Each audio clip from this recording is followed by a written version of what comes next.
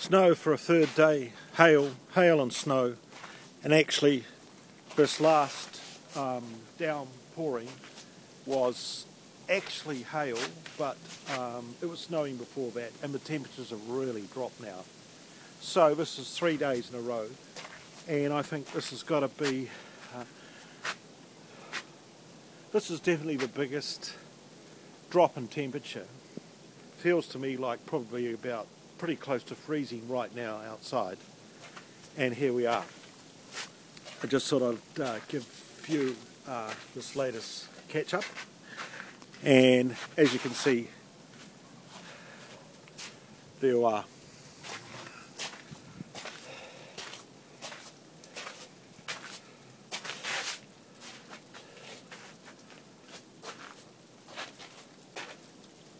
Just amazing. Temperatures really drop fast, and uh,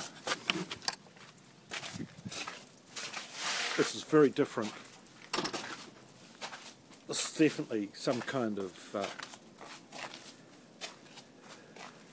well, it's definitely a climate change in terms of the history that I've experienced of the weather in uh, particularly Wellington, but in New Zealand.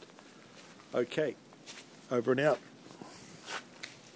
And over here,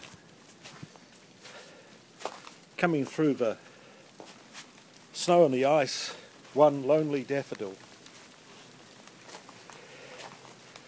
So, inside.